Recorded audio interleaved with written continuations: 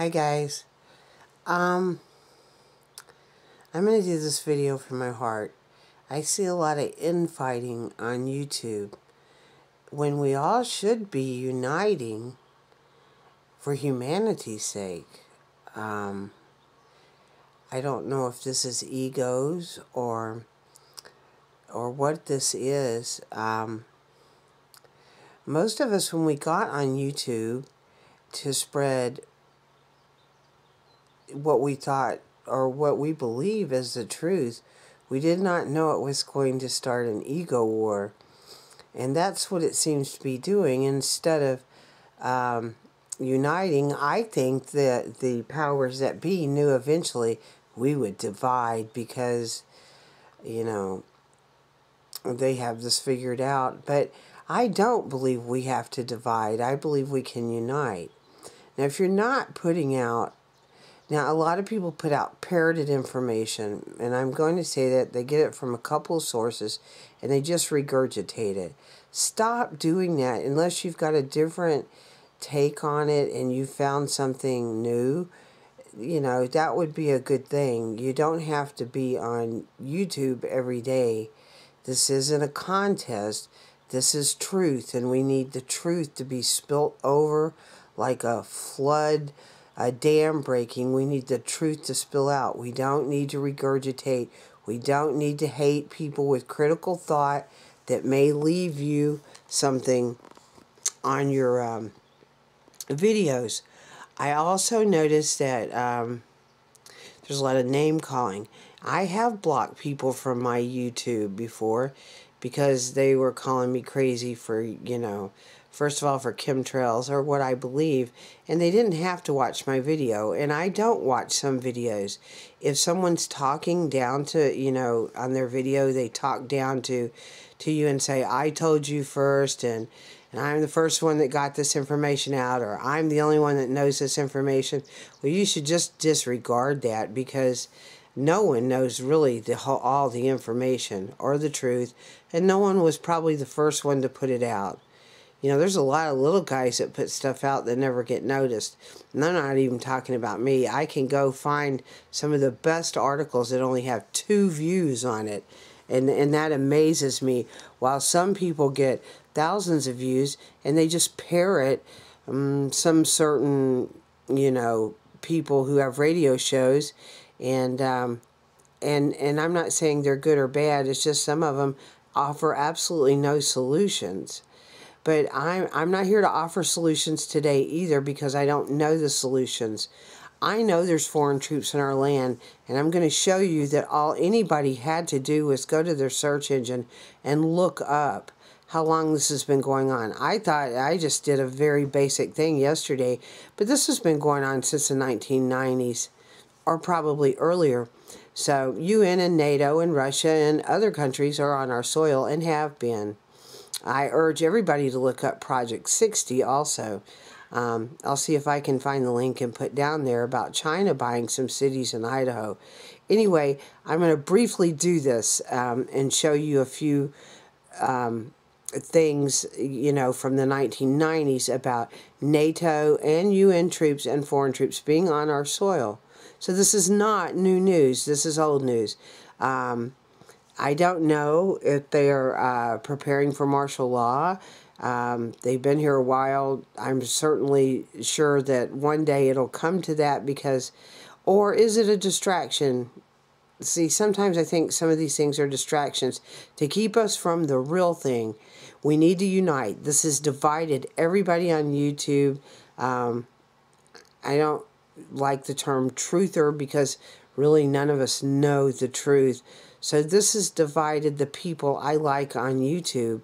And um, I've even been banned from one sub, one of the subs I, you know, somebody I subscribe to. I was banned by using critical thought. I just thought I would put out a different outlook, but I look at things differently, maybe from more of a, a holistic or Native American perspective, but because I wasn't going with their parroted uh, scenario, I was banned and I was called disinfo. And it doesn't bother me. They can keep doing what they do. As and And um, that's fine with me. Now, I would like to show you just a couple of things and then I'll make this real brief. Um, but really, let's unite for humanity's sake. Stop all this egos, and that's what it is. It's ego. Um, you know, it doesn't matter who gets the most counts or the most, you know, thumbs up um, or the most comments. It's about getting it out so other people can, you know, take it in, do it in a nice way. Don't point your finger and say, I told you first. I knew this was going to happen because no one really knows what's going to happen. We can change things with our thoughts and our frequencies if we wanted to, if people would practice that. As my good friend the true Ray, and another good friend. Um, she knows who she is in Oregon. Says we get we focus, and yet I focus on these things too. So we can change things, um, but we have to do it in the right way. And let's stop all this this bashing one another. We're we're here to unite humanity. Unless you have another agenda, and if you do, I really don't want anything to do with you. My job here is to unite humanity. I think that was my whole purpose um, some of us know our purpose. Some of us are, are, some guys are just getting in the game and act like they've been in the game for a long time. Where a lot of us have, have been in the game for a long time and didn't really want to. I mean, I've been an activist and then I quit being an activist and then I was an activist again. And that's kind of been my life. So um, I'm going to show you this real quick then I'm going to get off and I'm going to hope the sun comes out again today. And I actually love every one of you, even those of you who haven't caught on to that it's not an ego game. Maybe you will unite, set some differences aside, quit calling people names, and let's join. This is our home, the earth, and there is a group that are trying to destroy all of us. And that's what we need to be focusing on. Not this little petty he said, she said stuff. That's stuff of children. You're an adult. I myself think I can govern myself, but I'm seeing grown men um, saying outlandish stuff like they're children. Grow up. Take responsibility. Maybe you need to go garden or get away from the computer. Anyway, real quickly, and I shouldn't have even said that, but really, you are acting like children. Um, and uh, later today, I am going to do, or tomorrow, a video on Native American perspective um, on the 4th of July. It'll be really interesting, but really quick, let me show you this. All right. Uh, let me turn this around. All right, this is from CBS News, and this is in the 1990s. I'll leave the link. And it says, Foreign military troops in the United States. I'm not going to read it. This goes back to 95.